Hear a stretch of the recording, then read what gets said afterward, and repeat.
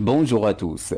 Harry Bologne, prétendant être le fils d'Alain Delon, a été découvert sans vie dans sa résidence située rue Cambronne à Paris, durant la nuit de vendredi au samedi 20 mai, tout au long de son existence.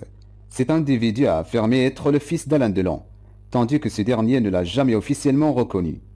Malgré cela, Harry Bologne a rendu son dernier souffle à l'âge de 60 ans. De nombreuses zones d'incertitude persistent concernant la disparition du fils de la chanteuse Nico. Son corps, découvert dans un état avancé de décomposition, suscite des interrogations, de comme sa condition de santé précaire et sa relation tumultueuse avec sa partenaire.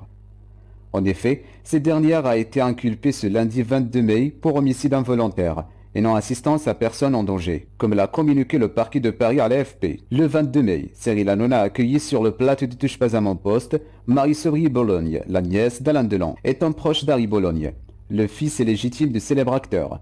Elle a évoqué les nombreuses difficultés rencontrées par celui-ci. Elle a notamment pointé du doigt la compagne d'Harry Bologne, l'accusant à plusieurs reprises d'être une manipulatrice narcissique qu'elle a lentement détruit en utilisant des substances narcotiques.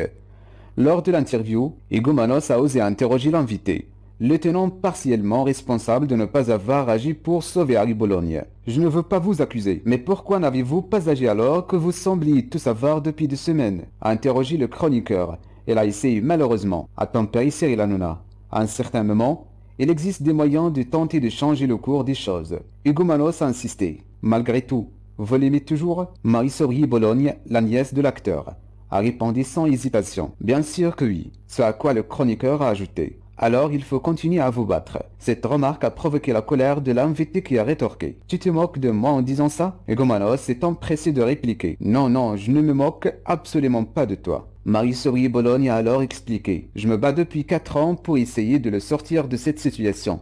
Ajoutant, tout le monde a essayé, souhaitant apaiser la tension. Egomanos a simplement précisé qu'il posait la question sans intention malveillante. C'est la fin de ce rendez-vous. Merci et à très bientôt.